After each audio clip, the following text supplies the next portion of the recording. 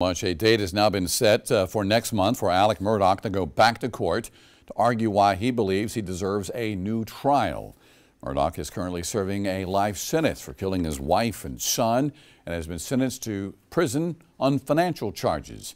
Murdaugh's legal team filing a motion for a new trial, claiming Colleton County Clerk of Court Rebecca Hill tampered with the jury during his original murder trial.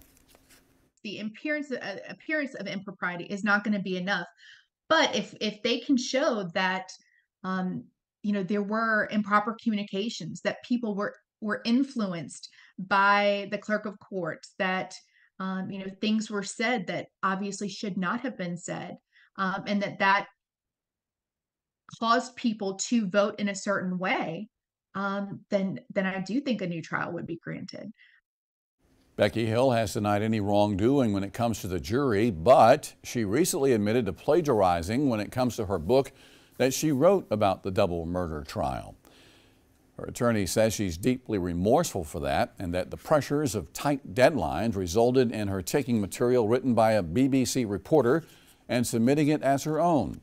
Her attorney says she accepts full responsibility and has already apologized to that BBC reporter.